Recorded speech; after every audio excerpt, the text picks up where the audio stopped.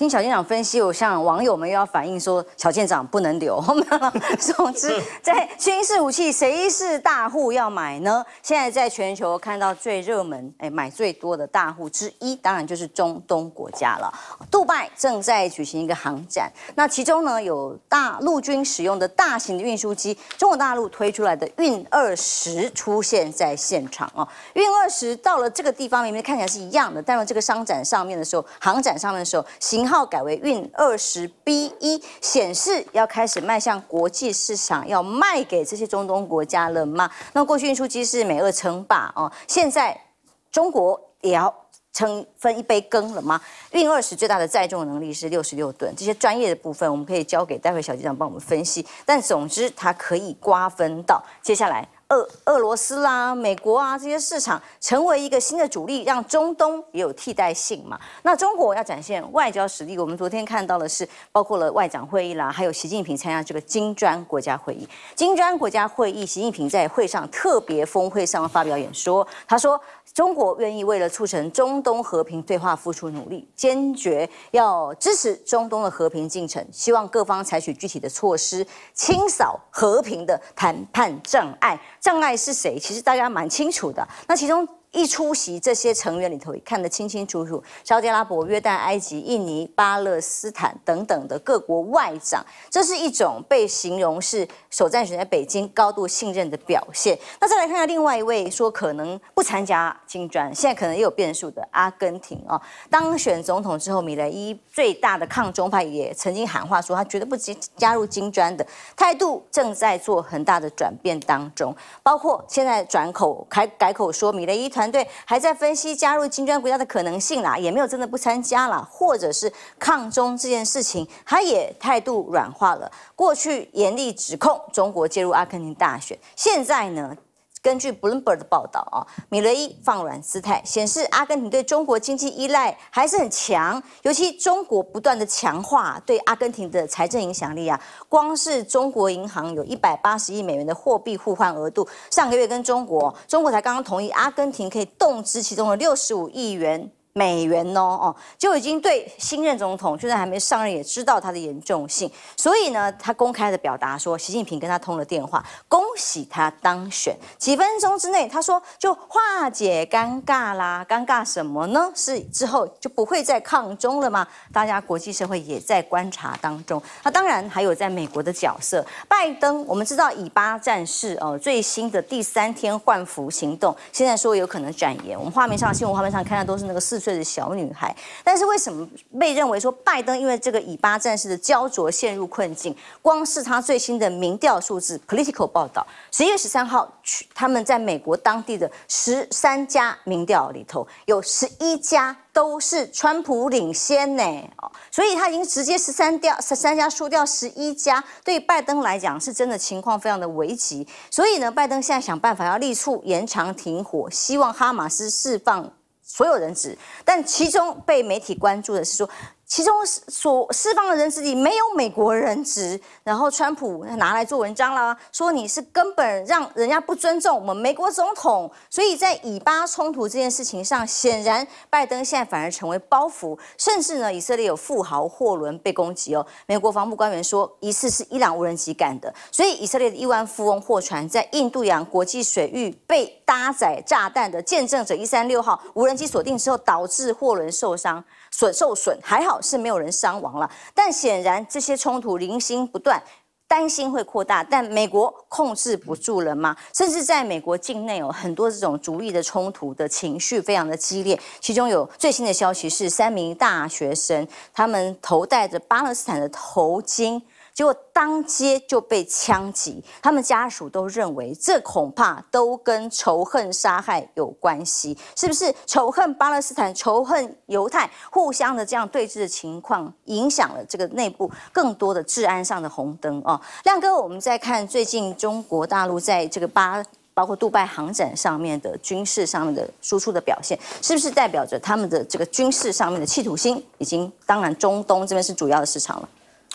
去年这个军火出口啊，美国占三十八点六 percent，全球啊，那俄罗斯大概是十五 percent，中国大陆只有四点六，啊，那中国大陆当然就是因为它以前有一些项目它不愿意出口嘛，不然事实上比较大件的啦，这个舰长比我清楚了，比如说军舰，那利润很高的啊，那这个战斗机啦，各种，呃，利润都非常高的啊，反正越大件，科技含金量越高的，就是利润很高了。所以我觉得中国大陆可能开始思考这个问题，就它的军军工产业，它大概就是通常都是降一两级，然后就可以出口了啊。它以前可能考虑的是说会引起那个地地缘政治的紧张了啊，比如说那个沙特阿拉伯要跟他买作战舰，那他就要考虑伊朗的想法啊，大概是这一种。可是这个运输机问题不大了，问题不大了啊，所以。所以我觉得他应该是逐渐会考虑要做更多的军火的出口了啊，因为他是有实力来做出口的。那因为这个市场坦白说，长期都被美国跟英国、俄罗斯垄断嘛啊，所以他有非常大的成长空间呐。那阿根廷那个，这个我们说那个吹牛总统啊，这个他事实上改变立场，我也一点都不意外啊，因为他自己，我想他可能逐渐搞清楚状况。金砖国家昨这个八月，金砖国家扩容啊，阿根廷跟伊索比亚，大家是公认纳入你们两个国家，就是要作为援助典范的。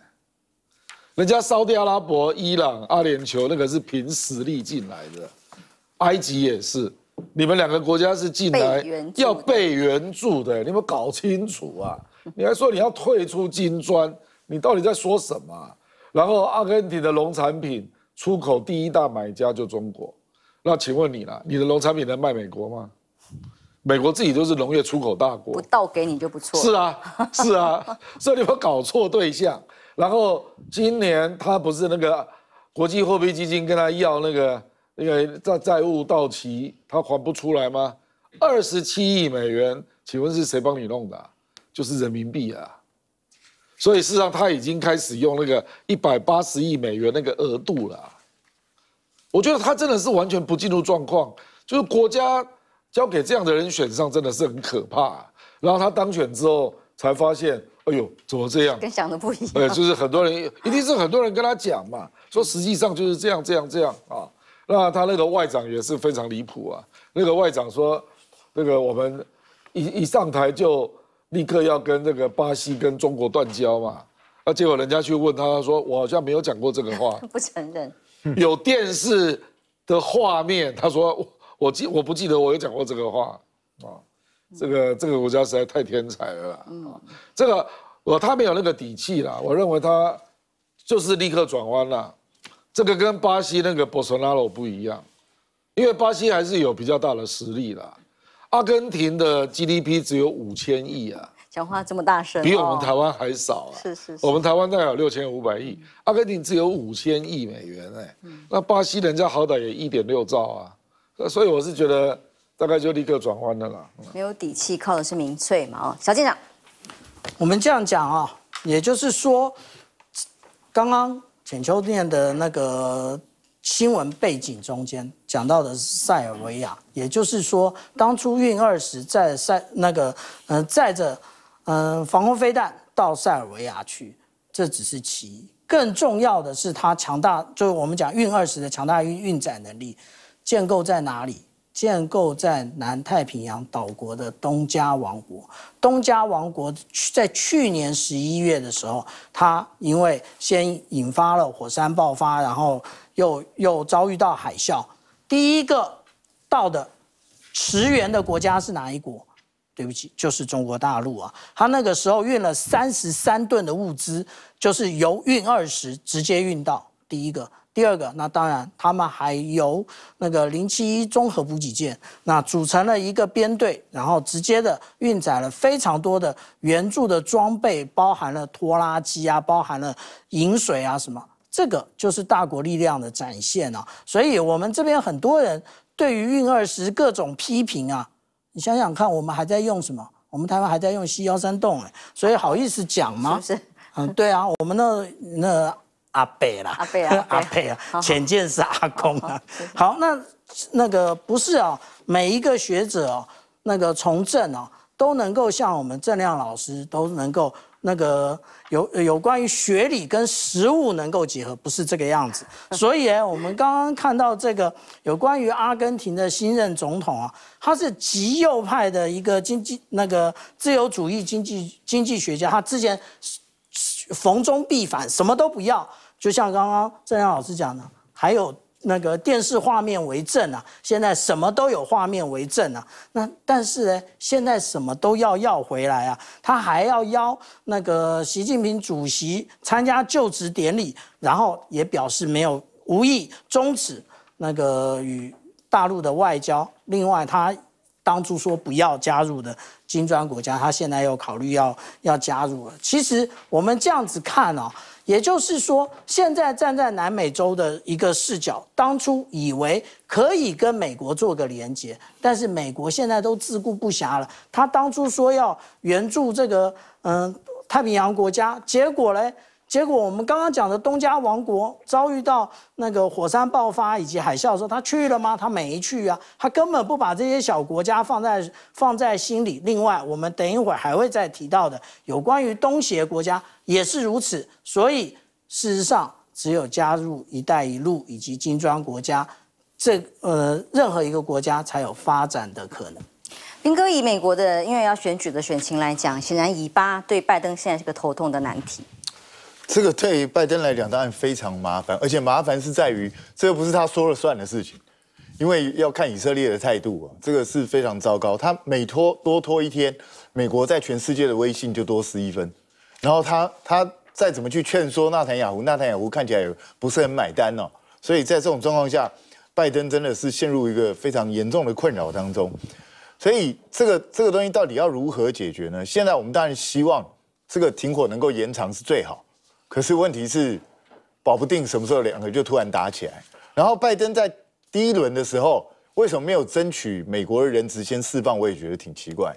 正常来说，应该你也要先找一些样板来满足自己国内的需求嘛。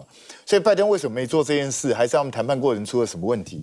这个恐怕还要再去深入了解，因为这个这个还目前还不确定。可是只要以巴这个冲突不停下来，这个拜登我真的不知道到明年他到底要怎么选。因为你看，这个战争如果一路拖到明年，甚至过完年之后，你想想看，那还要死多少人？现在已经死了一万多了，然后妇孺是特别容易受害，因为他们生命也比较脆弱。那在这种状况下，你拖到明年至少都两万多以上，那这么沉重的压力，拜登到底要怎么去扛？所以，我我觉得这个是美国一个非常大的麻烦。那至于说阿根廷这个总统，我觉得他会这样变是一件好事啊。对他的国家，对他的国民是好事啊。他虽然完全示范了政客就是换了位置就换了脑袋，可是有的时候你换了位置换了脑袋是要抨击，要要去谴责。可是像他这样，他现在是在把国家带往对阿根廷有利的方向。宁可他迷途知返。是 因为你如果真的像他所讲那样去玩，那还得了？阿根廷不就直直接完蛋了？所以他他现在会这样，当然有主客观因素的问题，但是他这样做是完全正确的。我觉得他要继续往这个方向走。选举的语言大家听听就好，有的时候还是要回归正途了。那至于运二十呢，我必须讲，他现在能够对外卖，表示他的涡扇二十完全成熟，也就是他上面绝大多数的东西他自己可以自主了。因为以前中国大陆要卖一些军品到外国的时候，就常遇到引擎不是自己做的，所以到最后就被人家限制出口。那现在他能够。有信心能够出口，就表示它上面多数的这些东西都达到自主研发的这样的一个功力哦，所以我觉得这个标志着中国大陆军工产业一个非要性的成长，这个是蛮值得我们注意。